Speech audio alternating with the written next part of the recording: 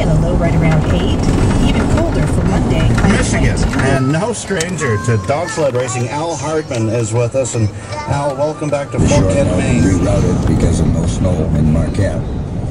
But we uh, we survive, I guess. You run the country doing this, and you have for many uh, years. In fact, 2000 and 2002 and 2004.